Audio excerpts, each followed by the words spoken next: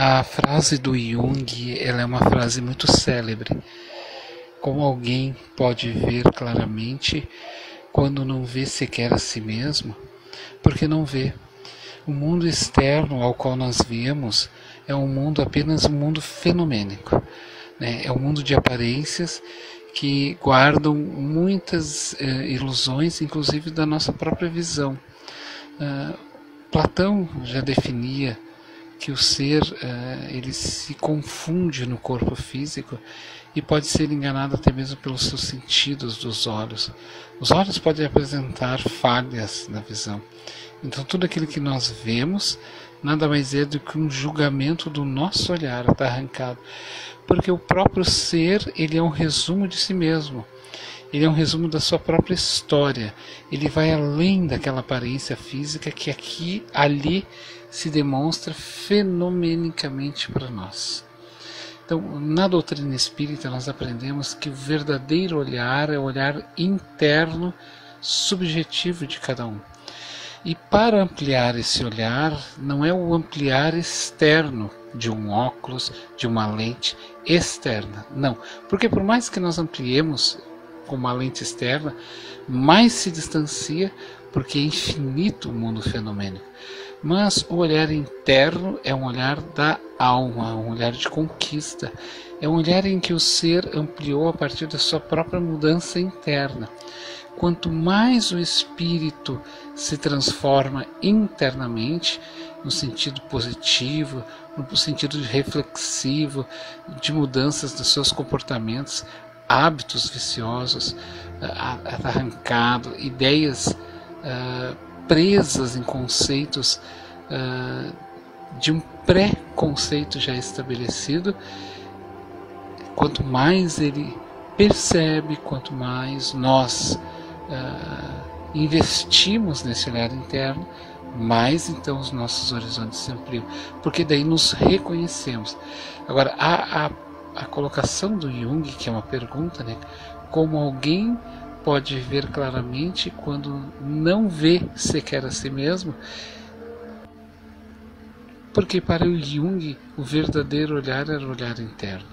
A, a foto do, do próprio Banner já demonstra isso, que ele ultrapassava a sua própria estrutura física.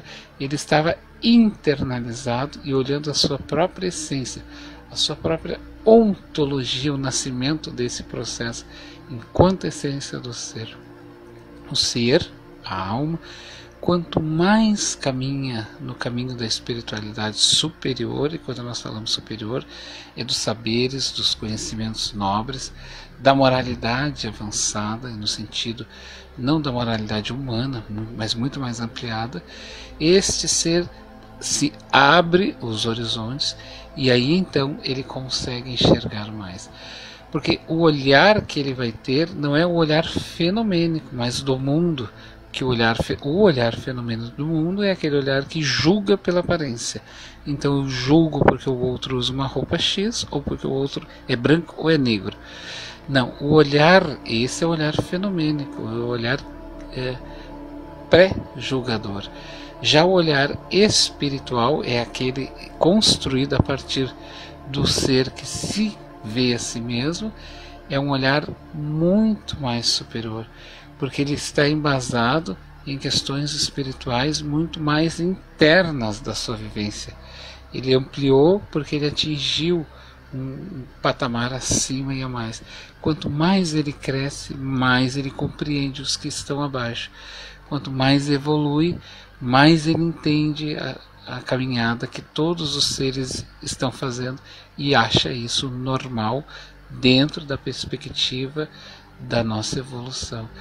E esse ser, ele vai caminhando com seu olhar internalizado, olhando para si mesmo, para suas qualidades, sabendo que tem que ampliá-las, olhando para ainda os seus defeitos internos, sabendo que ele tem que os corrigir e os transformar de forma positiva, o horizonte se amplia e é interessante que ele mais identifica o quanto ele é ignorante. Quando Sócrates vai afirmar que ele nada sabia, é porque ele sabia.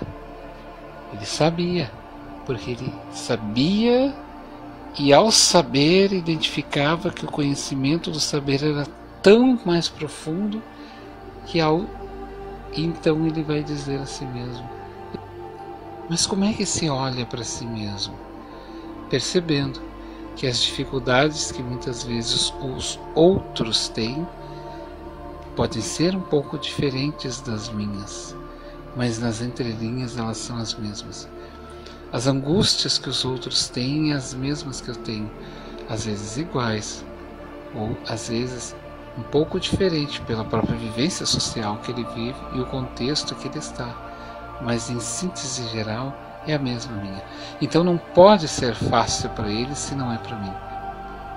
Se para mim não é uma receita fácil mudar internamente, por que que para o outro é? Esse olhar que nós temos relacionando as nossas próprias dificuldades com os outros é uma das propostas de caminho espiritual. Não significa dizer que nós vamos passar a mão diante dos erros dos outros, mas compreender ao mesmo instante em que ele tem as suas dificuldades de crescimento, nós as temos também, essa dificuldade de crescimento.